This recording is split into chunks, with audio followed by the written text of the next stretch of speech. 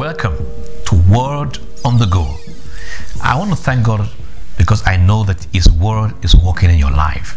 And I hope you've been able to read the entire chapter 91 of the book of Psalm. Today we'll continue with verse 3 of Psalm 91. Verse 3 says, Surely he shall deliver you from the snare of the fowler and from the perilous pestilence.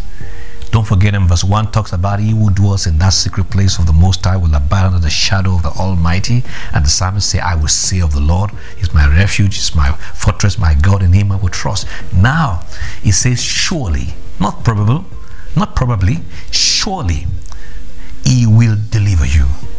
As you as you face what looks like uncertainty, as you face what looked like bleak future, surely As you hear all kinds of negative news in the media right now about how terrible times are, about how terrorism is going on the alarming rate and, and violence from the left and the right, surely he will deliver you from the snare. What is a snare? Snares are traps set by the enemy. Now, beyond the snares we can see, there are invisible snares. These are spiritual traps set to lure people into deception, to lure people into saying what God has not said, to lure people into sin. Whatever the snare of the devil may be around you, whether visible or invisible, I bring the word of the Lord to you. Surely it will deliver you from the snares of the fowler and from the perilous pestilence. And that's what I want you to go on with for the rest of this week and all the days of your life.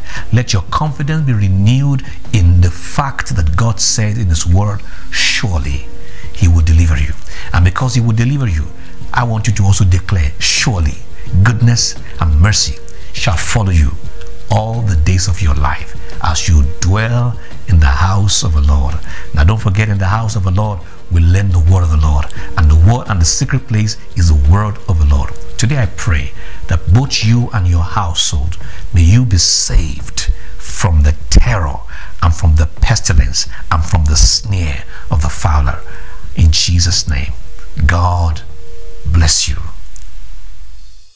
For more information about Grace Outreach Church, visit our website or check us up on Facebook. It's a new day and Jesus is Lord. We'll see you in church.